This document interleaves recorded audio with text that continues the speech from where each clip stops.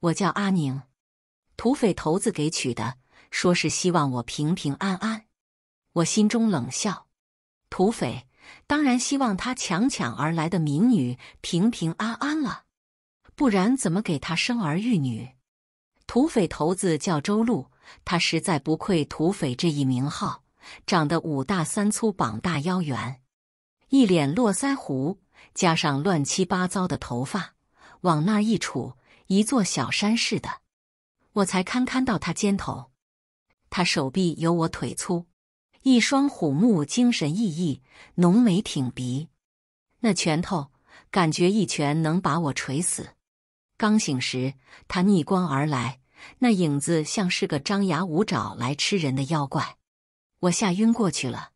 后来再醒，是寨子里的大嫂守着我，我小心向他打听消息。听说我此刻身在土匪窝，差点又晕过去，勉强稳住心神，看着他，我不禁悲从中来。他也是被强掳到山寨的吧？如今这么平和，是不是已经绝望认命了？姑娘，你叫什么名字？我叫……脑子里一片空白。我叫什么？我是谁？我心里一下子慌了，紧紧抓住他的手。连声问：“我是谁？我是谁呀？”大嫂匆匆叫来了寨里的大夫，一番诊治，说我脑袋受到重创，许是得了失忆症。我愣了，失忆症？有人不解。大夫摸着山羊胡对他解释：“是的，大当家，这位姑娘。”我猛地瞪过去，大当家，这该死的土匪，就是他。肯定是他强抢我，我激烈反抗，抵死不从，他便抱着我脑袋哐哐撞树，把我撞失忆。绝对是这样，我要和他拼了！我跳下床，直扑过去，脚刚踩地，腿一软，我跪下了。我土匪头子惊了一跳，不必如此，救你不过举手之劳。你畜生！他居然说是救我，气急攻心。我又绝过去了。第二天醒来，照顾我的大嫂换成了一位慈眉善目的大娘。大娘脸上有条疤，几乎和皱纹融为一体。天杀的，这土匪窝不把女人当人啊！竟然把人打成这个样子！我同情又悲悯的看着大娘。等我回去，我一定让人把这些土匪尽数剿灭。可是回哪儿去？我完全想不起来，寨子里的妇人、孩子还有其他土匪都告诉我，是在山脚下捡到我的。周围没有人，只有我躺在树下，满头的血，没有气息，而且我身上没有饰品，只穿了一身雪白丝绸的里衣。他们挖好坑，抬我去埋的时候，我突然哼了一声。见我没死，他们把我带回寨子采药。敷药熬药，治了三四天，我自然是不信的。土匪只会穷凶极恶，何来菩萨心肠？而这些妇人大娘，不过是被威胁着一起来诓骗我。而孩子，自然是大人怎么说，他们便怎么说。我理解他们，不怪他们。可那些土匪竟然也撒谎，简直禽兽！他们强抢我上山。还想我心甘情愿委身于土匪吗？异想天开，我不动声色的养着自己的伤，摸清寨子的一些情况，趁着月黑风高，偷偷下山，结果昏倒在半山腰。迷迷糊糊的，我感觉有人在扒拉我的衣服，我当即清醒，翻身坐起，抓紧衣襟，看到周路，压在心头的惧怕和仇恨喷涌而出。我破口大骂：“你个登徒子，道貌岸然的禽兽！你这是要乘人之危吗？你是要逼死我吗？分明就是你们逼着我以死保全自己，竟然粉饰成是救我！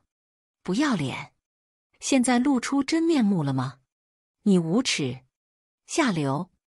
你最好赶紧把我送回家去，不然我逃出去定要抓你去蹲大牢！”黄大夫震惊：“嘿，你这丫头都说了，周路庶长阻止他，一脸兴致勃勃，让他骂，一套一套的，听着怪有意思。我气煞我也，我又昏过去了。寨子里的女人孩子都围着我转，生怕我跑了，眼瞅着是逃不出去了。我也不想寨子里的可怜人被我连累，我决定换一种方式。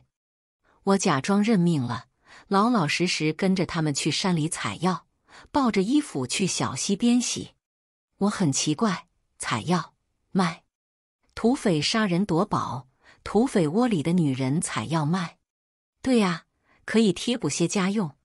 天杀的土匪，抢夺那么多财富，竟然不给女人一个子吗？也是，女人不过是土匪泄欲以及生小土匪的工具，怎么可能得到他们一点半点的怜惜？我紧紧捏着手里的草药，差点咬碎了牙。你们放心，我一定会救你们。我信誓旦旦道：“嘿，你这丫头真是冥顽不灵。”陈大娘斜我一眼，刘大嫂也十分无奈。阿宁。我们不是被抢上山的可怜女子，我们男人本是附近村子的农民，前几年日子不好过。我庶长打断他，我知道了，我才不信。我恶狠狠撸下一把巴豆，回去我就给周路下巴豆。他半死不活的从茅房出来时，我从阴影里蹦出来，一把将他按倒在地，坐在他背上，用一根削尖的木棍抵着他后脖梗。逼问说：“我是谁？我家在哪儿？”周路嘴唇直哆嗦，两只手使劲想撑起来，又无力趴倒，只能恨恨一句：“毒妇！”他晕过去了。我愣了，伸手探鼻息，没有，不会拉死了吧？喂，周路，喂，喂，他没反应，我急了。他死了，我可就什么消息都打探不到了。周路，来人呐！黄大夫，他眼睛睁了一条缝，瞧我，我发现了。一瞬间怒火中烧，我气得坐在他后腰上，给他一顿乱捶，边捶边骂：“混账东西，竟然敢诓骗我，岂有此理！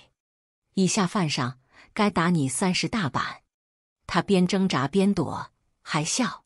嘿，你骂人的词儿还怪新鲜，我气得差点绝过去。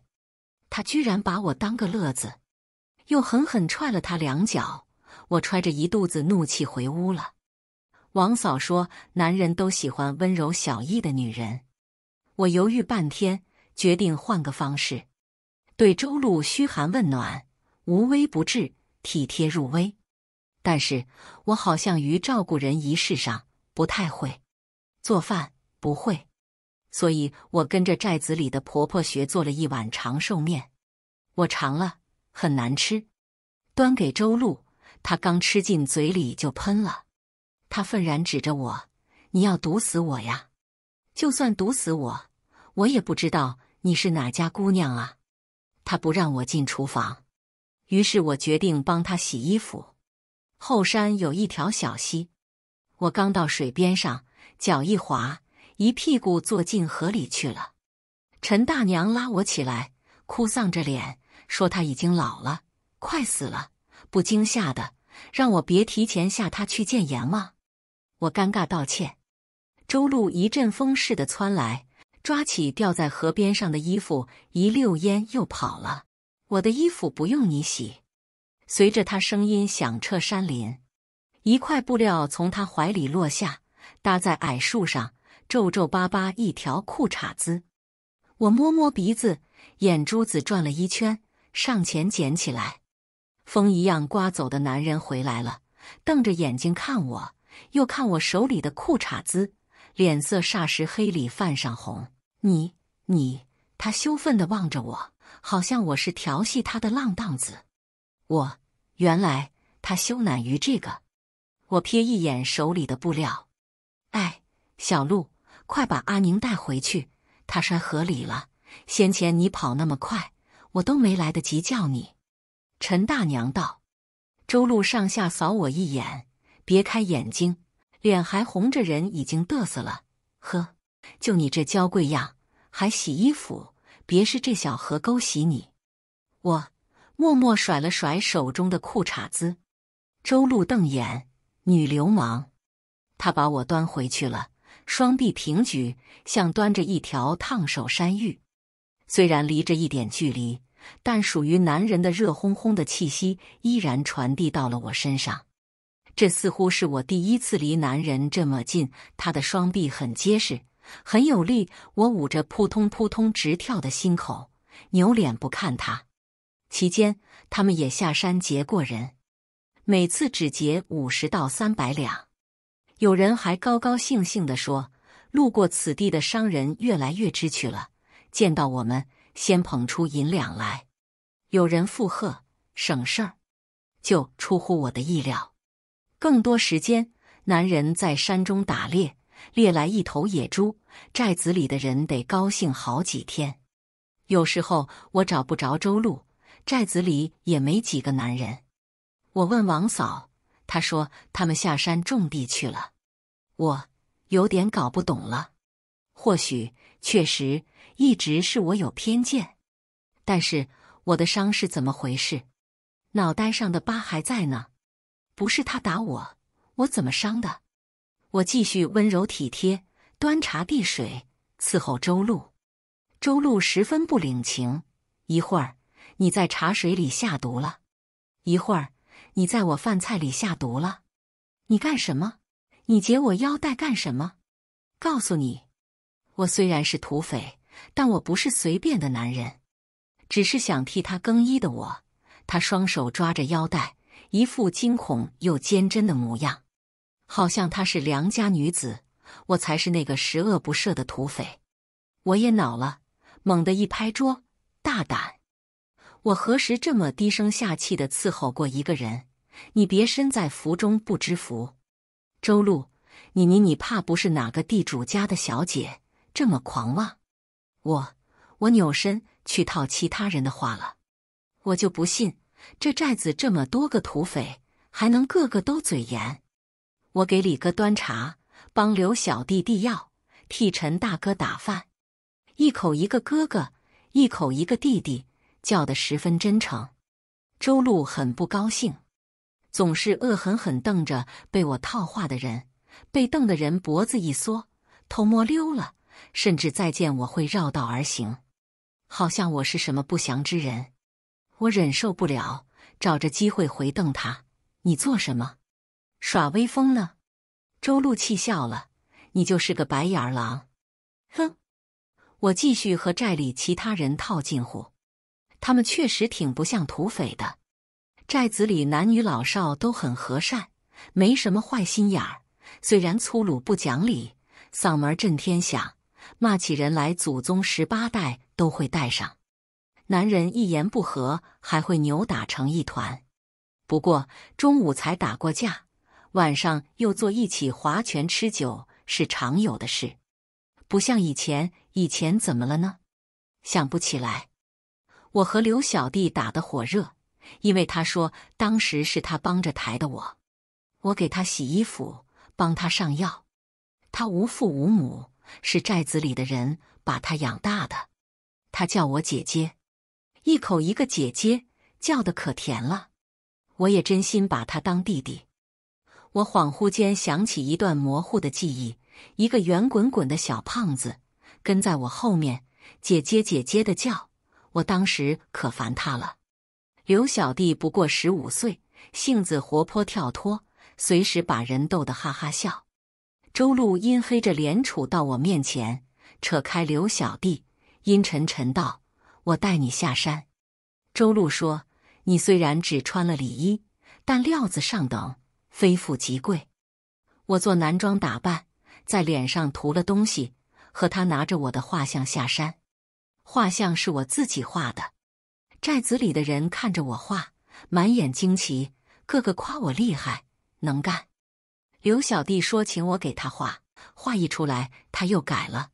不成，不成，你马上要找到家人了，哪能与我们扯上关系？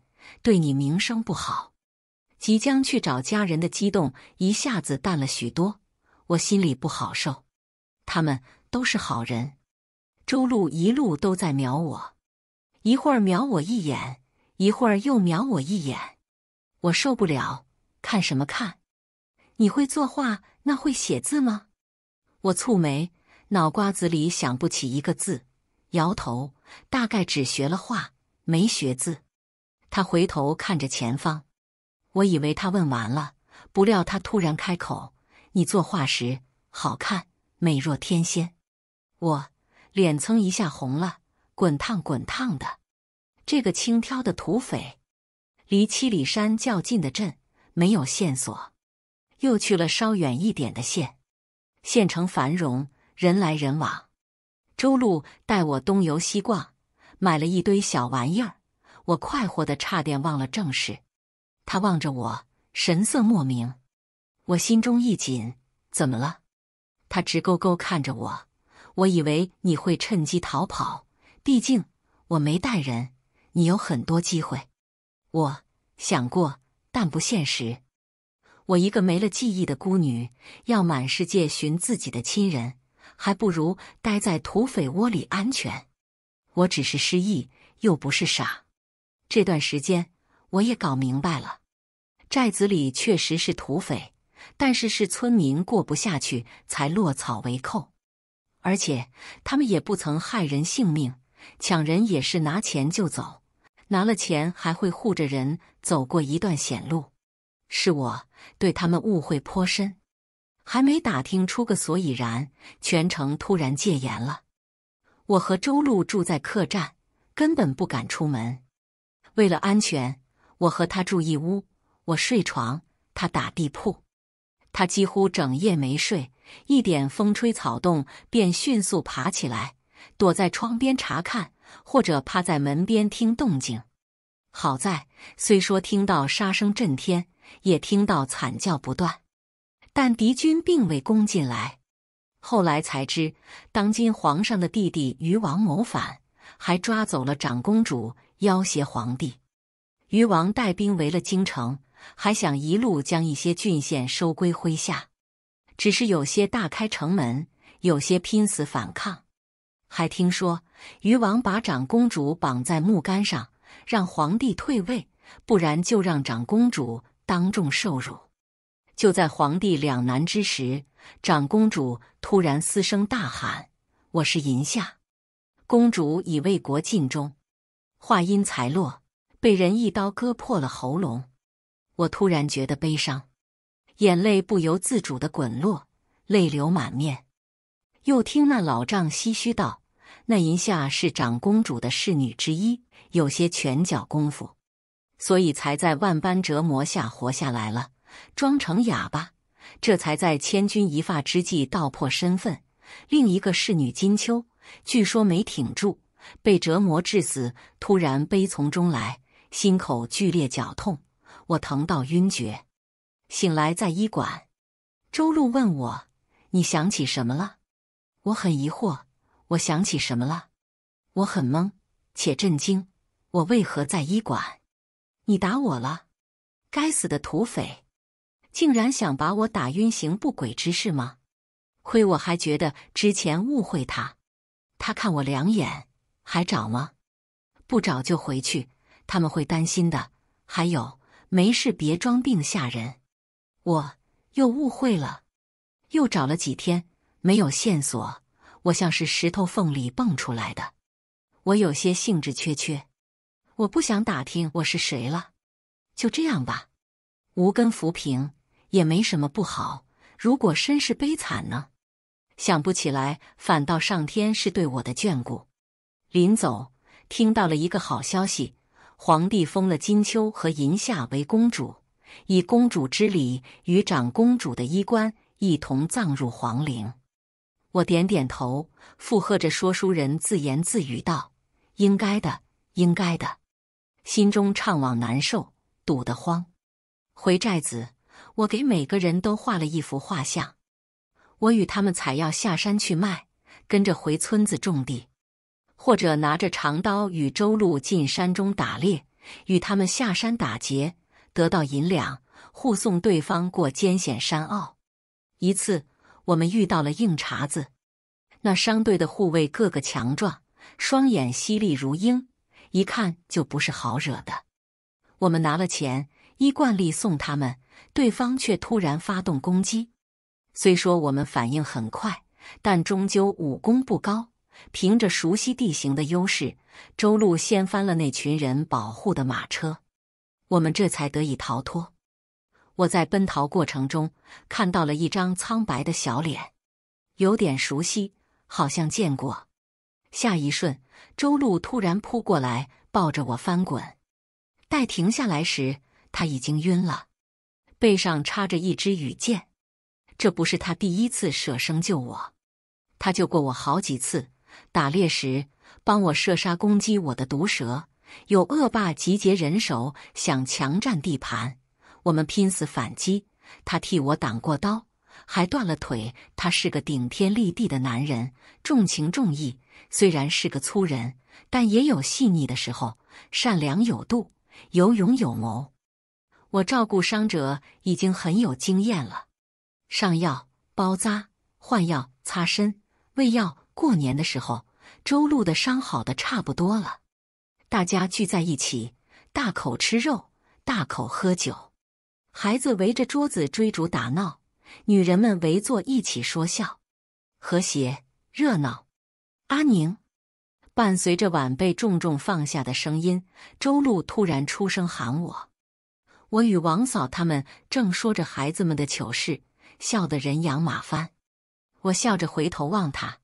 他在烛光下威武的像一座山，脸与今天陈大娘剪的窗花一样红。阿宁，你嫁我可好？他问，双眼灼亮。热闹的气氛陡然一静，只有风声徐徐。我的心却剧烈跳动起来。好啊，我答。安静的大家猛然爆发出山呼海啸般的欢呼，掌声、祝福声。笑声震动天地，周路定做了喜服，寨子里所有人张罗起来。在所有人的祝福下，我和他拜堂成亲了。我幸福的好似拥有了全世界。他第一次刮干净脸上的胡子，露出一张端正的脸，很正气，很阳刚。他父母早逝，唯一的弟弟是尤一，不知道如今在何处。寨子里的人都是他的亲人。周路更多的时候是去种地打猎。他说：“当土匪不是长久之计。”他说：“周家祖上曾是御医，因当时上官医治皇后不利，以致皇后病逝。前朝皇帝怒而判其流放，终身不得入京。周家是被连累的。后来，当今皇上的父亲带军围京。”登基后大赦天下，他弟弟周燕学了些医术，当了治病救人的大夫。周路没有学医的天分，也不喜欢认字，选择了习武。他本想回京瞧瞧祖宅，路上被土匪打劫，与他一起长大的朋友被杀，他主动投身土匪，报仇雪恨后接管山寨，积极带领原本作恶多端的人向善。他们不再杀人，只拿一定的银两，再分给大家。他们进山打猎，下山种地。然而，并不是所有人都明白周路的苦心的。刘小弟本名刘山，是前土匪头子的儿子，亲眼看见自己的父亲被周路砍头。他假装什么都不知道，安安稳稳在寨子里长大，然后在除夕夜。周路喝酒疏忽之时，劫持了怀孕八个月的我。冰天雪地，湖边结冰，雪亮的匕首抵着我的脖子。要不是我身子重，我真想抽他两大耳巴子。忘恩负义的崽子！大当家，原本我也父母恩爱，我也能承欢膝下，都是你，是你杀了他们。周路的酒全醒了，目眦欲裂。刘山。你的父母真的恩爱吗？你的母亲真的快乐吗？你爹杀了你母亲的爹娘，强抢你母亲上山，你的母亲真的快乐吗？你那时已经五岁了，你真的什么都看不出来吗？你这么自私吗？我杀了你父亲时，你母亲解脱般文景自戕，临死还求我好好教导你。这十多年，我就是这样教导你的。刘山浑身都在发抖，抵在我脖子上的刀子离我越来越远。不是这样的，不是这样的。他低低呢喃，又突然大吼：“你骗我！你骗我！”我娘说过，她心悦我爹，她与我爹两情相悦。我有些不忍，但周路毫不客气：“她是你母亲，她当然会为了让你开开心心而骗你。”刘山整个人一震。似是难以接受这个事实，下意识想逃避。他怔怔后退，不料脚下打滑，带着我往地上摔。我惊呼一声，下意识抱住肚子。刘山强行扭转身子，垫在我身下。我和他一咕噜滚进湖里，咔嚓一声，薄冰碎了。沉入水中时，我听见一声惊恐万分的嘶吼：“阿宁！”冰冷的湖水瞬时将我包围，我呛了一下，立时屏住呼吸，肚子传来剧痛。我慌了，拼命拍打湖水，一双有力的手抱住我的腿，奋力往上送。是刘山，他无意伤我，我知道，不然他就不会在抓我去湖边的路上那么小心翼翼，怕我磕着碰着摔着了。一路还嘱咐着安姐姐小心，如果不摔这一跤，我和她都会全身而退吧。我疼了三天三夜，参汤喝了一碗又一碗，终于在筋疲力尽之前生下了孩子。孩子没有哭，陈大娘噼里啪啦打他屁股好几下，才听到几声猫一样又轻又细的哭声。好了好了，哭出来了。没事了，我彻底昏过去了。我的女儿叫周雪生，因为出生那天鹅毛大雪，她那个五大三粗、大字不识几个的土匪爹便给她取了这个名。我给她取了个小名叫狗蛋，贱名好养活。陈大娘怜惜地说：“狗蛋瘦瘦小小的一团，许多人看到他都直叹气，但是不好明说养不活。”黄大夫说：“孩子养活了以后，可能会有些许迟钝。”周路心疼坏了，又心疼我，又心疼狗蛋儿。他将狗蛋用棉布包好，贴身裹在自己胸口，走哪儿都带着。整整五到阳春三月，春暖花开时，才将它放在我身边。我一直没什么力气。身上一直发冷，下身一直断断续续的流血。我不止一次对周路说：“我怕是活不长了，你好好照顾狗蛋。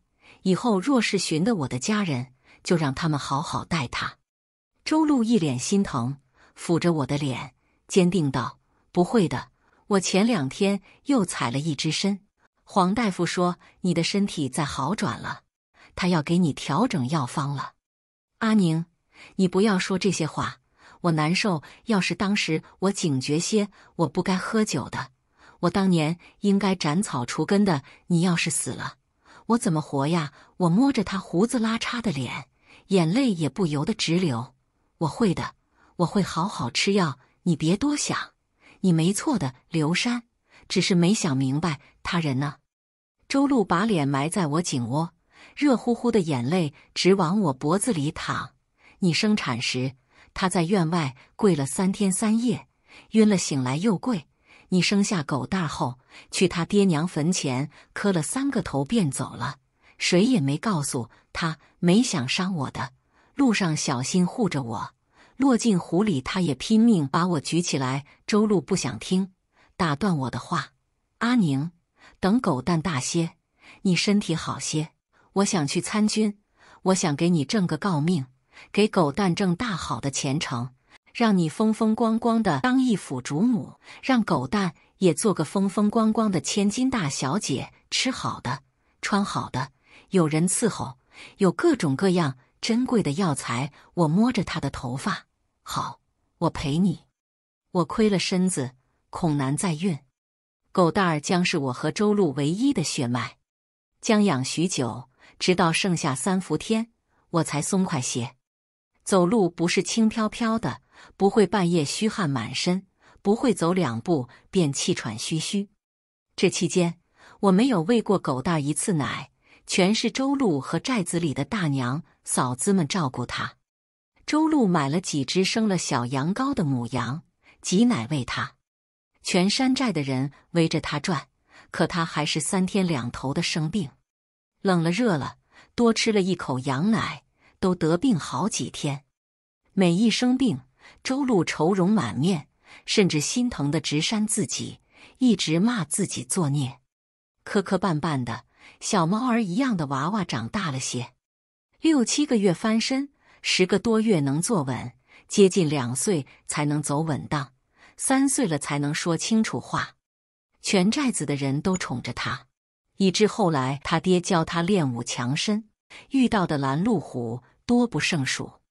狗蛋嘴甜，叔叔婶婶爷爷奶奶哥哥姐姐弟弟妹妹喊着，他爹训他，连两岁不到、话都说不清楚的崽子也去护他，大当压，一步要凶多多。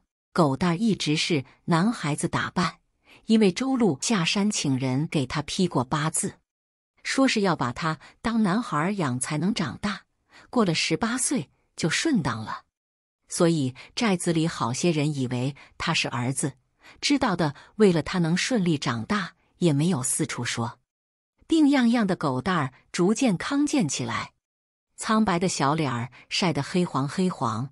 细瘦的胳膊腿儿越来越有力量，跑起来小短腿倒腾得飞快。他上山抓兔子，上树掏鸟窝，下河摸鱼虾，抓蛇，抓老鼠，简直一个无法无天的野猴子。周路经常被气得跑到我面前哭：“你看狗蛋儿！”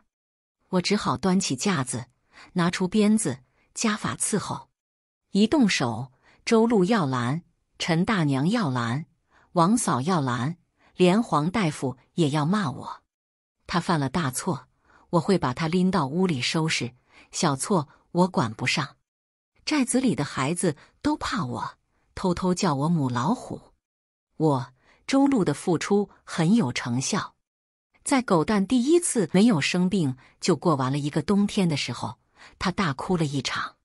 阿宁，狗蛋算是能活下来了吧？我眼眶酸涩，泪水滚落，拍着他的背：“嗯，狗蛋能活下来了。你是世界上最好的父亲。”那年周雪生六岁，父母之爱子，则为之计深远。周路打听好了归顺朝廷的事宜，安排好不愿意去打仗的，接受了林知府的招安，随军去西南边境抵挡蛮辽。他让我安安稳稳等着，所有人都会照顾我。我不愿意，我不愿意等在遥远的地方，连生死都要隔着几个月才能知道。我扮成男人，背着狗蛋儿，闷不吭声，驾着马车跟在大军后面，一路有惊无险。到了边境，与结伴同行的商队分开后，又往前走到边陲的义安镇。住了几天客栈，找到合适的房子，我带狗蛋儿住进去。同院的还有三家人，做小本生意的孙大哥一家，房主王大娘一家，还有也是追随当兵的丈夫来的苏大嫂一家。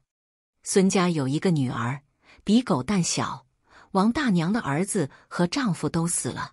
苏大嫂有一个十来岁的儿子，丈夫在军营。我换回女装。又观察几天，询问苏大嫂怎样给军营里的人传话。边陲的人比较开放，女子多泼辣，也是一个家的顶梁柱。苏大嫂心直口快，为人善良，是可信之人。她愣了愣，你……我解释道：“我丈夫从军，我不想离他太远，便带着孩子跟过来了。”他看看我，又看看和他儿子玩在一起的狗蛋。整个人柔和下来，我带你去吧。军营里隔段时间会有人出来采买，集中在城门口寄信送信。我带着狗蛋儿在镇子安置下来，没事便四处走走，想做点营生。可惜我什么都不会，反倒苏大嫂主动找我，让我帮她做豆腐，她付我工钱。我知道蛮辽的人狡诈凶狠，也知道战争残酷，但我不知道离着边境还有十多里的镇子也能这么危险。半夜有小股敌人进犯，被守军围剿后逃脱的人在镇子里乱窜，街上铜锣响个不停，士兵的喊声、脚步声、马蹄声杂乱无章。我一手抱着大睁着眼睛的狗蛋。一手抓着周路给的长刀，缩在床底下等天亮。我不能怕，我怕的话，狗蛋更怕。啊！隔壁房传出苏大嫂的尖叫，我哆嗦了下，犹豫半瞬，对狗蛋儿说：“你待着，娘去去就来。”他好像被吓住了，呆呆的。我狠了狠心，握着刀爬出床底，贴在门上听动静。外面已经有打斗声，我微微拉开一点门，从缝隙里看到小牛犊子一样壮的小虎一刀捅进了那个络腮胡男人的后心，干脆利落，眼都没眨。而他身边全是拿着武器的住客，那个五十多、满头白发的王大娘，那个挺着肚子的孙大嫂，那个瘸着腿的孙大哥。那个还没有狗蛋大的丫头，个个眼神狠辣又冰冷。我打开门，腿一软跪下了，心若擂鼓。我说：“我知道今后该如何了，多谢各位教诲。”王大娘看向我身后，突然脸色大变，快！我心头一跳，抓起刀回身就劈。其他人也飞快抢进来，将还有反抗之力的蛮辽人制住。他们很高兴，因为抓到一个活的二两银子，一个死的七百文。我分到九百文，这九百文全部用在一病不起的狗蛋身上，也没见好，高烧、噩梦、说胡话。王大娘说是惊住了，把魂吓跑了。她念念有词的给狗蛋撒糯米，又兑了香灰水给他喝，给他喊魂，没有好一点。我恐慌自责极了，我不该一意孤行把他带到边关来。他爹要是知道他病成这样，不得心疼死。他一下子又好了。我们扭送到官府，那人逃脱，直奔我们而来。他半夜摸进房间，掐住我脖子，将我拖下床，竟然要侵犯我。我使尽浑身力气推倒椅子，发出巨响。我可以死。但是我的孩子一定不能有事。门被踹开的时候，有白光闪过，趴在我身上撕扯我衣服的蛮辽突然浑身一僵，有热血溅在我脸上。他死了。月光朦胧里，原本睡在床上昏昏沉沉的狗蛋惊恐地握着刀，眼神灼亮。那一刀劈在男人的后脑，脑浆都劈出来了。他愣愣的转动眼珠看我，娘，我杀人了。我推开死人，想起身安慰他。小虎已经大步过来，哐哐拍着他的背，赞赏道：“好小子，真是好样的，好样的，比你虎哥有种。”我担心许久，可他又发一次烧后，确实是大好了。王大娘说：“这是破胆了，是好事儿。”这一年。周雪生七岁，狗蛋儿带着周路寻到我和苏大嫂卖豆腐的摊子时，我正对着旁边卖布的老板娘破口大骂：“臭婆娘，把你嘴放干净点！信不信老娘撕烂你的嘴？”这不是我和他第一次吵架了。一开始，他男人对苏大嫂言语调戏，苏大嫂闷不吭声的受着。我去了后，开始调戏我。甚至动手动脚的，我可是当过土匪的人，我怕他，我把他打了一顿，甚至差点掀了他的店。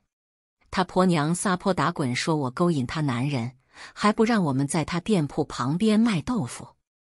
我第二天提着大刀去卖豆腐的，那天他们很消停，可是管不住他嘴贱啊，看我们生意好，就开始阴阳怪气，还骂什么男人早死。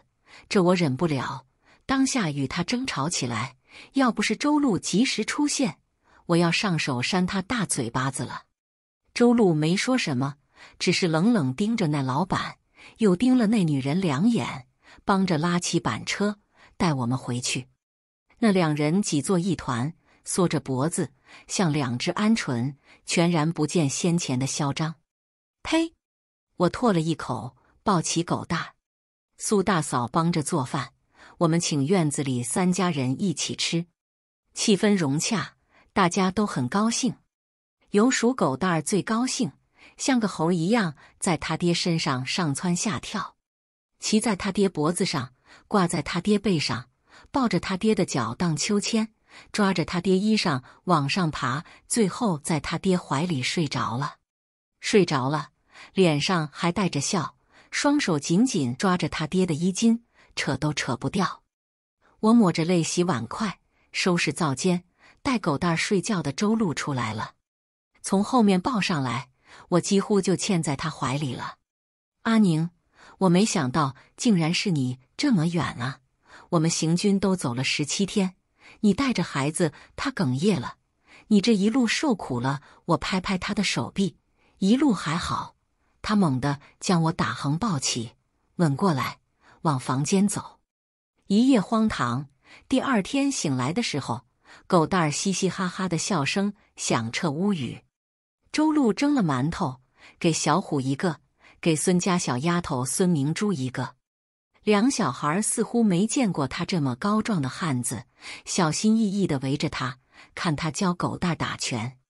俩孩子看得忘乎所以，馒头也没咬两口。待了三天，周路回去了。把自己这几个月的军饷留给我，还说下次会把其他几个弟兄带回来。我以为狗蛋儿会伤心难过，他没有。小虎带他满大街晃荡，完全不见他伤心。也好，这样我也放心些。不过半年，周雪生俨然成了镇子上的孩子王。一出门，身后跟着乌泱泱一群，一群人倒没干什么坏事。玩摔跤，玩陀螺，玩两军冲杀，斗草，斗蟋蟀。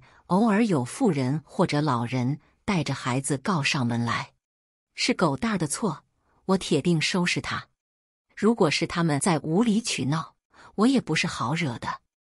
我时刻提醒他：你虽是男子打扮，但是别忘了，你是女孩子，男女授受不亲。周雪生皱起一张脸，娘。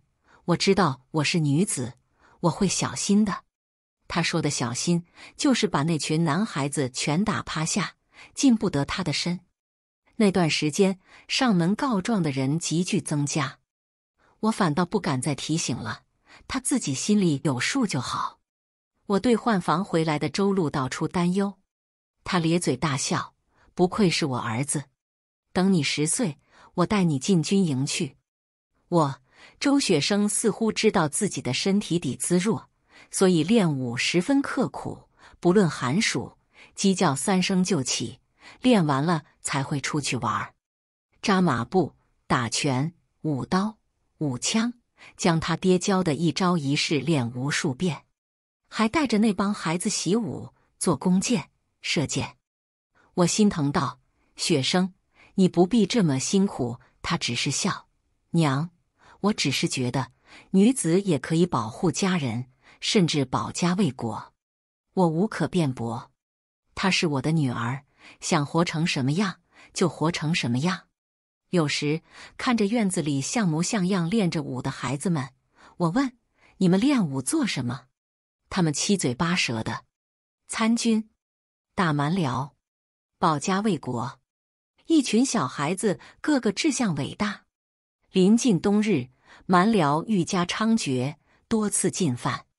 好在前段时间增加了守军，前方又打了几场仗，我提心吊胆的，幸而周路都活下来了。只是随他一起来的弟兄少了几个敛尸、抬棺、送葬，狗蛋儿懵懵懂懂的跟着，让他磕头，他便乖乖磕头。有时候他会问爹。话叔呢？怎么也没看见永伯伯？桌上的气氛便沉寂下来。周路忍不住痛哭：“怪我，我不该把大家诓骗过来。哪里的话，跟你有什么关系？刀剑无言，我们也是想给孩子挣个好前程。后来，狗蛋儿从未问过了，只是热情的招呼他们吃饭。在他们抱他时，安安静静的待着。周路带来的九个弟兄，竟只剩了三个伤残的回去。”其余的周路把所有的钱都给他们了，让他们带给那些兄弟的家人，还让他们带话，带他凯旋，定去他们坟上磕头报喜。军营里要招一批火头军，帮着煮饭、运粮、打扫战场。我没当回事儿，和苏大嫂收摊回家，房间里只有一封信，上面狗爬一样的字：“娘，我去了。”我眼前一黑。晕了，等醒来，有些分不清今夕何夕，因为我想起来了，我是安惠公主，为了追一个不属于我的男人，被鱼王抓住。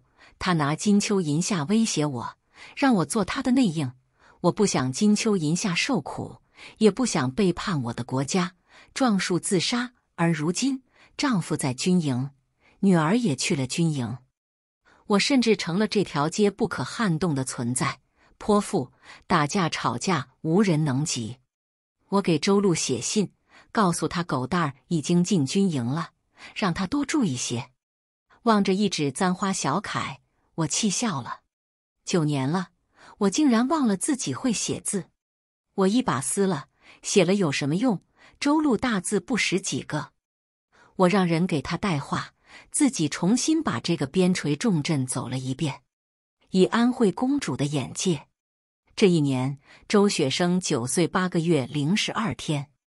我每日担忧，晚上也辗转难眠。苏大嫂也是强撑着，眼下青黑一日比一日重。虽说采买地来消息，两人都无事，但当娘的哪有不担心的？过完年不久。周路带着雪生回来了，他变化很大，瘦了，更黑了，一双眼睛像是被清泉洗过，清亮的惊人，气势十分锋利，如柄寒光凛冽的长枪。我上上下下将他检查一遍，手在，脚在，能动。我望着他手臂上才结痂的伤口，眼泪忍不住的流。我堂堂一国公主的女儿。从小没有锦衣玉食，没有奴仆成群，就算了，竟然还要小心翼翼的以女儿之身在军营里挣前途。我抓住他的手，雪生，我们不回去了，我带你回京城。我是娘，虎哥没了。我的喉咙一下子像是被掐住了，发不出丁点声音。我这才发现，周路拉着一辆板车。板车上躺着个人，我的儿啊！苏大嫂悲怆的哭声从门口传来，她跌跌撞撞的扑到小虎身上，双手胡乱的摸索着，好像在查探他还活着的证据。可是没有，小虎的手上已经长出了尸斑。我连滚带爬扑过去抱住苏大嫂，我想安慰她，我想说点什么，可我喉咙艰涩哽堵。一个字说不出来，他才十四岁呀，还是个孩子啊！苏大嫂的声音渐渐平息，她紧紧抓着小虎僵硬的手，双眼通红，沉声问：“我儿永乎？”我的心狠狠一震。周路声音嘶哑，掷地有声：“勇冠三军。”好，好，好，好！苏大嫂声音铿锵，带着哭腔，没有辱没他爹的教导。院子里外，悲凄的哭声连成一片。简单的丧仪后，周路将小虎装进薄棺，和其他几个将士抬着去了镇东边的山。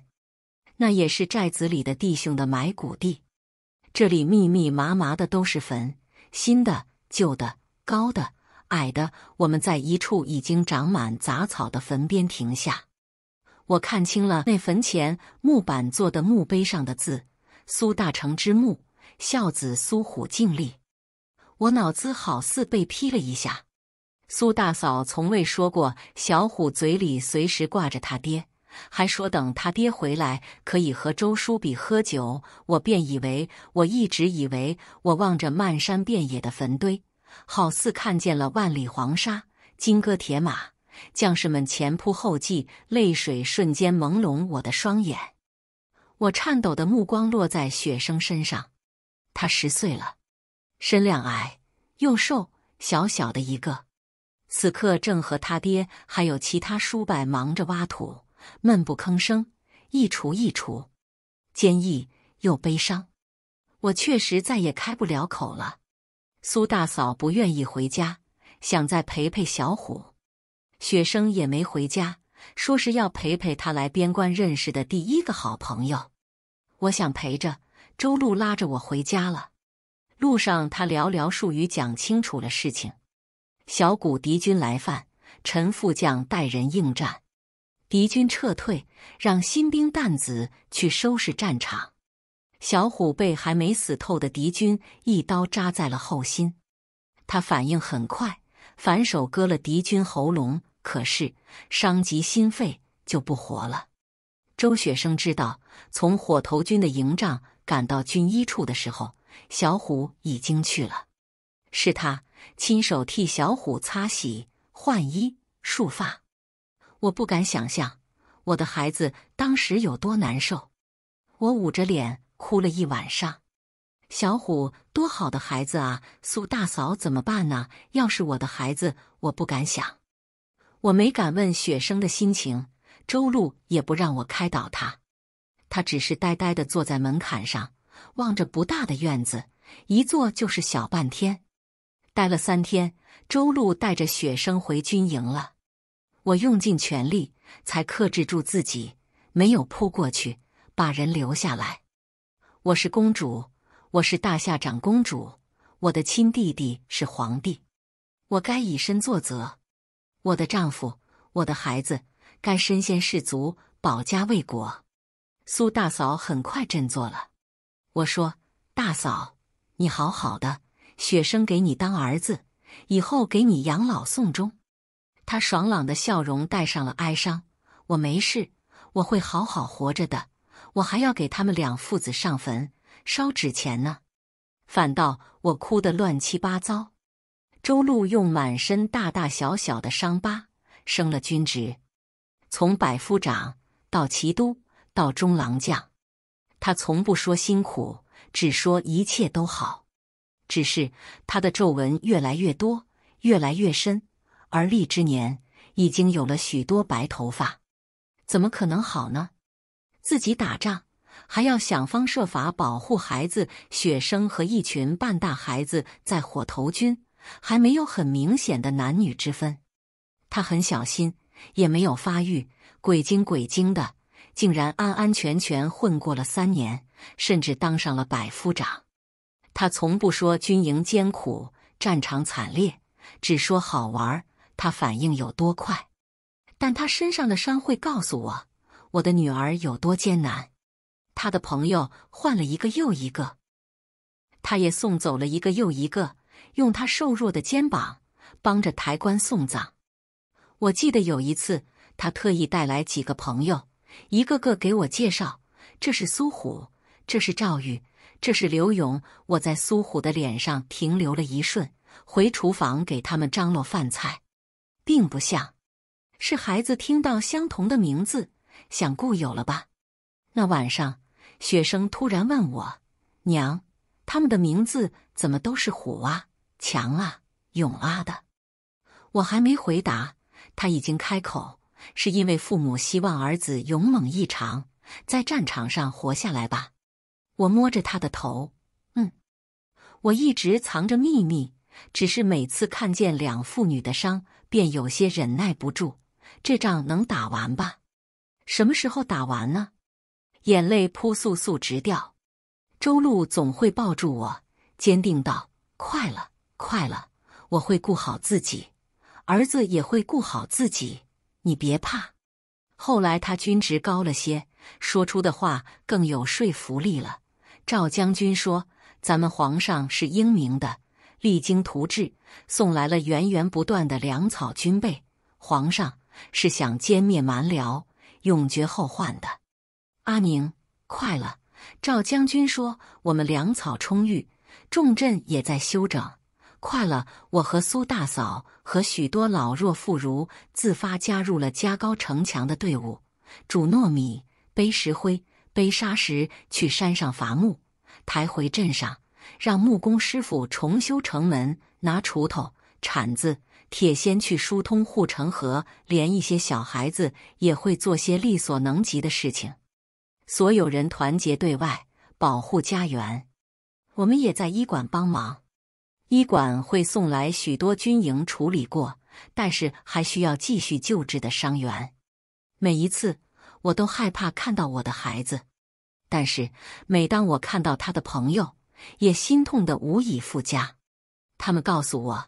周雪生厉害的很，周雪生竟然敢主动请缨，单枪匹马去应战蛮辽的小王子，把那臭屁玩意儿打得落花流水。周雪生的计谋有点缺德，但是实在好用。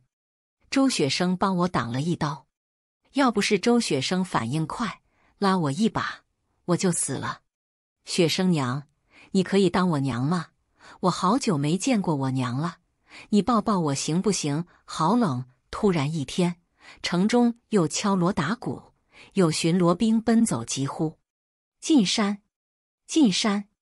狼烟起了，有蛮辽打过来了。镇中人们飞快回家，拿好贵重物品和一些钱财，拖家带口往山上跑。而男人。能动的伤兵，还有一些富户家里的护卫，纷纷拿上武器，站上了城墙。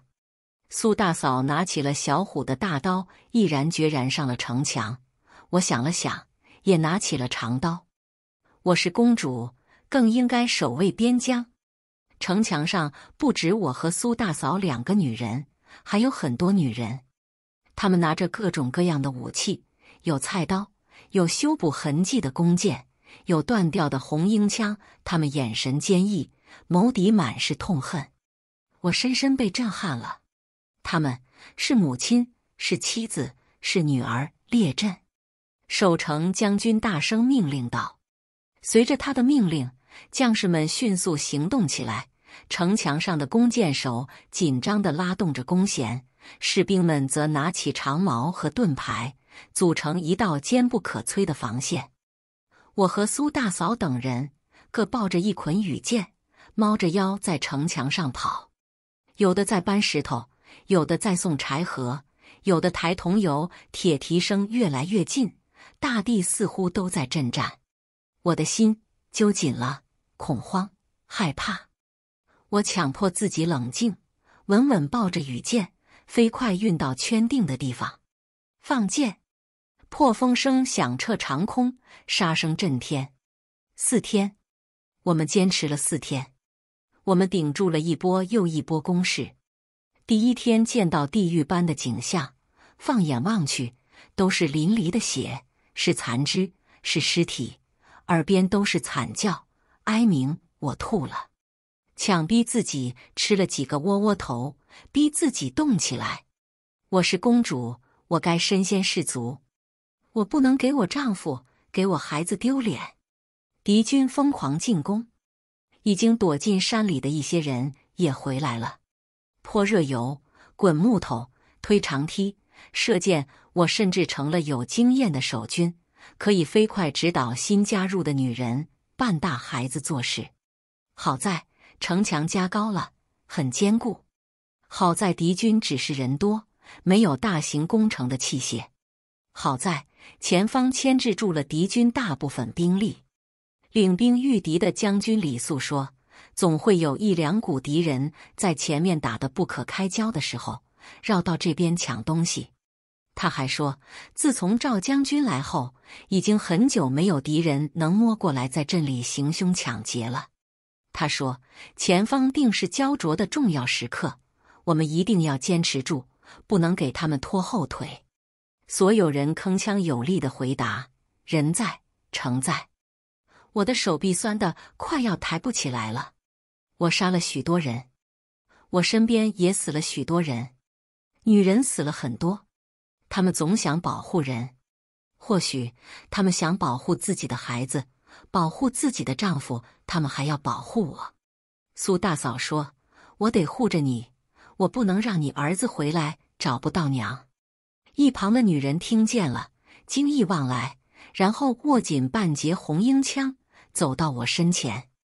我将所有人一一看过，走下城墙。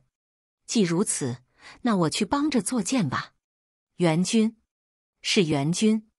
一声高呼打破了焦灼。我飞快转身，看到夕阳余晖里，一队人马气势如虹，疾驰而来。一马当先之人。可不就是周路？将士们齐齐高呼：“沙科首领已死，尔等速速投降！”沙科首领已死，尔等速速投降！沙科首领已死，尔等速速投降！大地瞬间寂静，只余惊猎猎作响。紧接着，欢呼声响彻云霄：“赢了！我们赢了！哈哈哈哈！敌军逃的逃，降的降。”城门大开，我疯了一样冲过去，揪着周路的裤子，急切地问：“雪生呢？雪生呢？”周路弓腰握住我的手：“没事，他没事，没事才怪。那伤口再深一点，右手就没了。而且医馆的老大夫说，治好了也不能上战场了，不能久拿武器，会手抖。”我哇一声就哭出来了。我的女儿啊！可周雪生乐呵呵的，没事，娘，不打仗了，蛮辽没了，哈哈哈哈！他很痛快，智商也不消停，绑着夹板，还要和其他人去喝花酒。从周路口中得知，蛮辽的人本想声东击西，大半在前面营造同归于尽的架势，小半绕过来想快速攻下重镇。只取后面富庶的郡县，本想等我军上当后，敌军就悄悄撤下后军，绕过来帮着攻城。赵江识破了敌军的计谋，将计就计，和敌军虚与委蛇，待敌军撤走兵力，待大军一鼓作气，直捣蛮辽的都城。同时派周路带五万将士截杀前来帮着攻城的敌军。这场仗打得漂亮。周雪生屡立奇功，提拔为校尉，军中最年轻的校尉。他才十四岁。等朝中派来的人到了，大军班师回朝。路上，我让周路带我去见赵江，他是认识安惠公主的。我也和雪生说了我的身份，他瞪大眼：“好家伙，我马上就要过上锦衣玉食的好日子了呀！”我推他额头。别高兴太早，他眉眼一暗。娘，我可以带小玉、小刚他们回京城吗？当然。我望向马车外的周路，你爹不也带了很多书败回去吗？我想，我的女儿该享福了。只要他不为非作歹、杀人放火，他亲娘我都给他兜着。我知道周雪生很野，但没想到他能野到我预料不到的程度。他竟然大庭广众之下调戏人家簪缨世家费尽心血养出来的状元郎，周路当个笑话讲给我听时，我差点没气吐血。周雪生不知悔改，还说什么她真的长得漂亮吗？比怡红院的花魁好看百十倍。我让他和他爹跪院子里反省了。京城不比边关，自是要小心谨慎，谨慎个屁呀！人家叶青告状告到我这儿了，我脑仁疼，望着混不吝的野小子，直接抽了他十鞭子。很好，军中五年磨练，已经皮糙肉厚。尽管我用尽全力，他依然面不改色。给他上药，我忍不住问他：“你招惹他作甚？”他很惊讶：“没有啊。”他今天莫名其妙骂我一顿，我不过回了两句嘴。他说不赢就想打我，我当然要还手啊！可是我打不赢，他招式和力量都比我好，但我跑得快。嘿嘿，我戳他头，人家比你多吃了几年米饭，世家大族的公子从小文武皆学，请的是最好的老师，你怎么可能打得赢？他不服气，哼，我堂堂周校尉，我才不怕他。这次打不赢，我就练，我总能打赢他。我给了他脑袋一巴掌，行了。最近可有肚子疼，或者胸口疼？他摇头，没有。想到什么，他又凑过来，一脸希冀：“娘，我会不会这辈子就不来鬼水了呀？”我沉着脸瞪他，他苦着一张脸：“听你教了那么多遍。”真的觉得来鬼水很烦吗？你最好时刻给我注意着。知道了，知道了。他逃也似的跑了。我这孩子教不了一点。周雪生简直让我在京城抬不起头来。居然开赌局，赌他能不能亲到叶青。周路说：“我也下注了，赌咱儿子亲得到。”我我把他抓来，跪在院子里。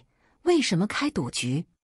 他理直气壮道：“想给像苏大娘他们那样的遗孀很多钱。”我大吼：“我已经给了，公主府都要掏空了。我还想给小玉他们开店娶媳妇。你我无话可说，任他去吧。”好家伙，成了！钱没捂热乎，被收了。叶青完了，周雪生非得扒他一层皮。叶青不愧是世家大族养出来的，半点没吃亏，没吃亏就好。就怕他父母想捏死周雪生。我特意登门拜访叶青的父母，先诚挚道歉，再批评周雪生确实顽劣，最后说他一腔赤子之心。叶母抿嘴直笑：“安慧，雪生与你年轻时很像。”我撇嘴：“无法无天是吧？”叶父说。公主放心，都是有分寸的孩子，我们不会责怪雪生的。像他这样纯善热烈的孩子，叶青多接触也是好的。很好。回府的时候，叶青也刚到，大道理一套一套的，周路听得晕头转向。我想，确实该归属一下这个野人了，不求他学富五车，只求少在我面前碍眼。只是有些同情刘夫子。看他手板心绯红的回家，我和周路躲着偷笑，孔嬷嬷心疼，直骂刘夫子心狠手辣。周雪生确实不是个能忍的，居然偷人家叶青的蟹裤，我门都不出了，我怕路上有人朝我丢臭鸡蛋。他是完全没意识到叶青在京城的地位呀。我问小玉、小虎，怎么不拦着点儿？他们拉长了脸，干娘。他本想拉着我们把叶青的血库全偷了，挂满整个京城。我罚跪吧，罚跪吧！我连夜请坐观音菩萨回府，给老娘跪半个时辰。算了，一刻钟吧。有时候周雪生天不亮就起，大半夜还没回家，也不知道一天天的干了什么。周路四处喝酒，一回家便把周雪生一顿猛夸：“我儿厉害。”我儿勇猛，我儿用兵如神，我儿也不知道这大傻子能不能听出来人家在讽刺嘲笑。我没问，只要我不问，我就不会被气死。冬至去护国寺吃斋饭，顺便立一些长生牌位，捐些香油钱。好好吃着饭呢，周雪生风一样刮进来，娘，娘。叶青，叶青要被人抢去当压寨夫人了，什么乱七八糟的！我让护卫去了，回来禀报说叶青人泡在池子里，浑身滚烫，双颊绯红，已经昏过去了。一行人着急忙慌的把人送到叶府。回到公主府，我总觉得忘了点东西。看到搓衣板，猛然想起忘了周路了，真的。我的日子安生不了两天。周雪生把叶青推池子里了，回来求我请御医，还好意思讽刺叶青堂堂状元郎不会水。叶青高热昏迷不省人事，我把他拎去叶府道歉，让他跪在院子里等着。叶青醒了，他就跟我回去；醒不了，自个儿抹脖子赔人家一条命。叶青父母吓坏了，上前扶他。他到实诚，直接磕头认错，是小资鲁莽，请叶丞相和叶夫人责罚。若侍郎大人出了意外，小资定当一命抵一命。周禄在一旁一个劲儿赔不是，拦着叶父叶母去扶。叶青没事，高热退了。周雪生去看了他一次，又和叶青父母告罪，才跟我离开。这后面倒收敛了些，虽然依然让我没脸参加任何宴会。周雪生不对劲，不知道从什么时候开始，回来嘴巴里叨叨的都是叶青，说叶青武功好，手把手教他剑招，说叶青带他去哪儿哪儿玩了。说叶青送了他什么什么，还拿出来一一展示。说叶青教他念书，讲了许多道理，还学了几句给我们听。什么男人不能进厨房？什么耳感感耳？什么在天当鸟，在地当树杈子？我听不懂两句，只知道这孩子怕是动心了，一时不知道该喜还是该忧。我告诉周路，咱儿子可能要嫁人了。周路。叶青，我点头。周路一脸不爽。叶青看咱儿子的眼神值得推敲。我推测，雪生是不是无意暴露自己是女儿身了？有可能。我顿了顿。我们将他当男孩养的，别人知道应该不算违背那老道士说的话吧？应该？因为心中忐忑不安，以致一直小心翼翼。时刻警惕着，所以周雪生来鬼水时，差点没把我们吓死。好在虚惊一场，只是我们的日子不好过了。往常看着周雪生就一脸慈爱的嬷嬷，整天愁眉苦脸，一见找我们便骂。她是我的奶嬷嬷，我半句反抗不得。我和周路整天蔫哒哒的，瞧见嬷嬷就想躲。又不好说周雪生的命格，怕他老人家跟着担心，只能天天受着。周雪生没心没肺，乐乐呵呵，还不时把嬷嬷招来对付我，不让我说教他。有一天，周雪生十分沉重的告诉我们，叶青被狐狸精附身了。我，他将近段时间叶青的表现描述了一下。我，好一个漂亮的孔雀开屏了。周雪生一拳砸在手心，我明天就去护国寺。我傻子，我甚至想告诉叶青，直接点儿，别送什么花灯，别做什么诗了，浪费时间。我没想到，我高估了叶青，低估了周雪生。那愣小子竟然一直不知道周雪生是女子。我和周路缩在周雪生的窗户下，面面相觑。我们散步来着，突然看见有人飞檐走壁而来，下意识一躲，便听到了不可思议的话。而且叶母来找我话家常，旁敲侧击：“雪生可有喜欢的人？他大概喜欢你儿子，但是我实在不好明说，便暗示他经常和叶侍郎一块玩呢。”他又问：“可有定亲？”我摇头：“还小，得十八岁以后了。”叶母纠结着暗示我，我们青儿觉得周校尉是可造之才，十分钦佩他。后来他大概编不下去了，尴尬的坐立难安。可怜天下父母心，让这个当初名动京城的世家贵女之典范来与我说这些离经叛道的事情。我笑道：“儿孙自有儿孙福，随他们吧。”他开开心心的走了。我家孔嬷嬷高高兴兴迎来了媒婆，我正担心是不是啥时候说漏了嘴，让人知道周雪生是女孩了。媒婆先将周雪生好一顿夸，用词玉树临风，人中龙凤。我和周路、孔嬷嬷气得哇一声哭了，大有我不给个交代就哭死的架势。我掰着手指头算了算。周雪生十岁十八零五个月十二天了，虚岁十九了，应该可以广而告之她是女孩子了吧？我急匆匆进了皇宫求圣旨，又急匆匆的回来，圣旨还没来得及给孔嬷嬷看，叶青后脚就到了。瞧着他一副受惊过度、神志不清的样子，还记得来求我将周雪生许给他。再看周雪生那呆样，许吧许吧，赶紧嫁人，眼不见心不烦，真好。丢脸的又多了叶父。我们大概是走的最勤的婆家娘家了，有时候过节都一块儿过。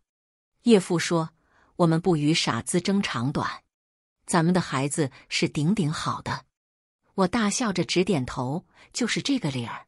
许是我给皇帝讲述的守城仪式给了他启发，他没有因为周雪生是女子便撤了他的职。大夏发展的很好。皇帝和各级官员励精图治，国富民强，民风也日渐开放。渐渐的，也有博学的女子当夫子，武功高强的女子参军，越来越多的女子走到人前为国效力，真好。叶青并未过多管束周雪生，只是陪着、护着，让她像荆棘一样蓬勃生长。而我的女儿练成了左撇子。他用左手拿着红缨长枪，带领御林军顶住了渔王的儿子带来包围行宫的残余部下。叶青及时搬来援军，尘埃落定后，抱着周雪生直发抖。我家那傻子将叶青的背拍得哐哐响。我没事儿，又不是第一次上战场，几十万大军都见过，何况这点小兵小卒？我真想塞他一嘴抹布。让他闭嘴！他舅舅封他为公主，英义公主。周雪生怀孕了，叶青恨不得长在她身上。也不知道周雪生是不是开窍了，举止端庄，端庄个屁！他挺着大肚子，拉着赵玉的媳妇去逛小官馆。叶青和赵玉满京城的找，坐月子的李劲松媳妇终于透露了消息。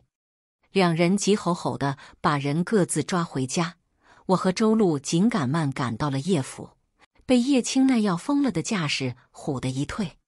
我们和叶青父母挤在一起，看着叶青狂怒但不好发作的在房间里走来走去，走来走去。周雪生坐在松软的太师椅上，目不转睛的盯着他，神色有些惧怕。叶青突然停了。盯着周雪生看了一会儿，跑出屋，拖来一条手腕粗的铁链。我们，这这这！叶父急忙要上前劝解，叶青丢下铁链子，又跑出屋了。这回抱来一捆麻绳，似乎不满意，又找来一根丝质的腰带，反反复复几趟，然后气哭了，蹲在地上，抱着膝盖，脸埋在手臂，哭得无声无息。我们周路，我也被周雪生气哭过。他小时候打又舍不得，骂也舍不得，还什么都不懂。周雪生迷迷瞪瞪，几乎要睡着了，被叶青这架势吓醒了。他愣了半晌，磨蹭过去挨在他旁边，低头去看：“你怎么了？真哭了？”哎。你别哭啊！就是我们去，只是喝了点茶水，就隔得远远的看看跳舞。赵玉那厮骂他，我就说带他散散心。我以后不去了，好不好？叶青，你别哭了吗？没有。叶青瓮声瓮气开口：“什么？没有不让你去。”他抬头望着周雪生：“你去何处？要先告知一声，我寻不到你会担心。”周雪生瞳孔一缩。缓缓伸手抱住叶青，我知道了，我会记得的。我揉了揉发酸的眼角，瞪了周路一眼。